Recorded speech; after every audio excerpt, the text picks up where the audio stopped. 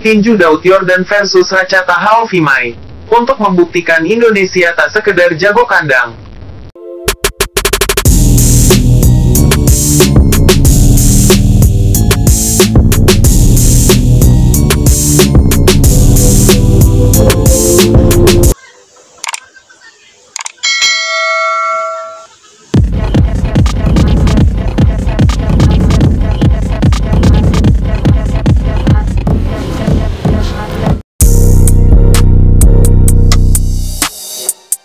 Petinju Indonesia, Daud Yordan akan kembali naik ring, melawan petinju Thailand, Racata Haovimai.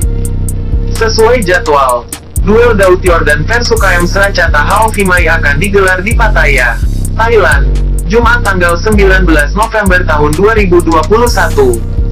Pertarungan tinju ini digelar dalam ajang Pro Evolution Fight Series 2021 yang memperebutkan sabuk juara silver kelas ringan Super WBC Asian Boxing Council.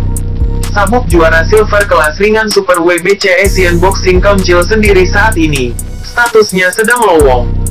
Daud merupakan penantang peringkat 15 di divisi tersebut dan Haopimai menempati ranking 12. Akan berlaga di kandang lawan. Daud tetap merasa optimis bakal membawa pulang sabuk juara. Pasalnya, belakangan Daud sudah semakin nyaman bertarung di negara lain setelah pada awal kariernya lebih sering berlaga di Indonesia.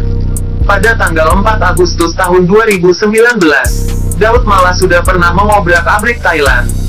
Dia berhasil mengalahkan petinju Thailand, AEKW Kanyumene, saat berlaga di Pattaya. Dalam asanya meraih kemenangan, Daud Yordan mengaku sudah siap bertarung. Kesiapan itu ditegaskan Daud sebab sang petinju sudah melakukan latihan mandiri selama pandemi berlangsung.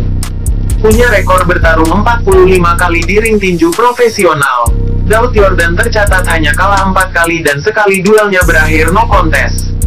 Dari 40 kemenangan yang dikoleksi, 28 di antaranya adalah hasil KO.